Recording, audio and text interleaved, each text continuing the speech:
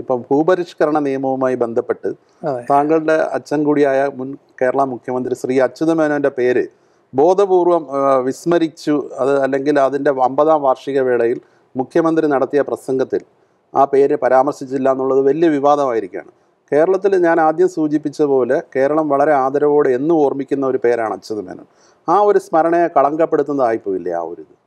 പേര് പരാമർശിച്ചില്ല എന്നുള്ളത് വസ്തുതയാണ്. അത് എനിക്കതിൽ പെട്ടെന്ന് തോന്നിയത് ഈ ഹാരി പോട്ടർ നോവലുകളിൽ ഒരു വില്ലൻ കഥാപാത്രമുണ്ട്. വോൾഡിമൂർ എന്ന് പറഞ്ഞിട്ട്. അപ്പൊ അദ്ദേഹത്തിനെ കുറിച്ച് ഒരിക്കലും പേര് പറയില്ല. പേര് പറയാൻ പാടില്ലാത്ത ആൾ he who shall not be named എന്ന് മാത്രമേ നോവലിൽ പറയുള്ളൂ.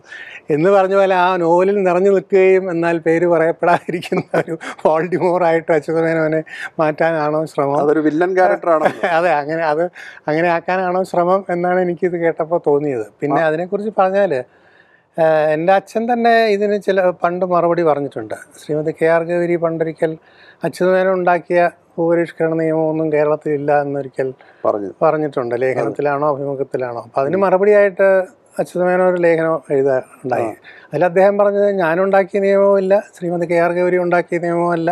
ഒരുപാട് പേര് ചേർന്ന് ഉണ്ടാക്കിയാണ് അമ്പത്തേഴിലെ ഭൂനിയമം. അതിൽ സി എച്ച് കണാരൻ ഉണ്ടായിരുന്നു ഇ ഗോപാലകൃഷ്ണൻ ഉണ്ടായിരുന്നു പി കെ ചാത്തൻ മാസ്റ്റർ. അവരെല്ലാം വളരെ ആ, കൃഷ്ണയ്യര് അവരെല്ലാം ശ്രമിച്ചിട്ടാണ് ഒരു സംയുക്തമായ സംയുക്തമായ ശ്രമമാണ് അപ്പം അതിൽ നിന്ന് ഒരാളെ മാറ്റി നിർത്താൻ സാധിക്കുകയില്ല എന്ന് മാത്രമല്ല ആ ബില്ല് കേരള നിയമസഭ പാസ്സാക്കിയതിന് ശേഷം.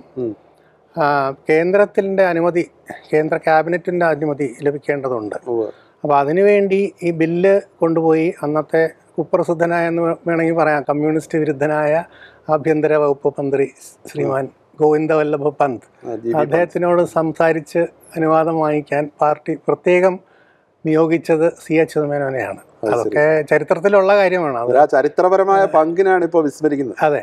അതാണ് ഞാൻ പറഞ്ഞത്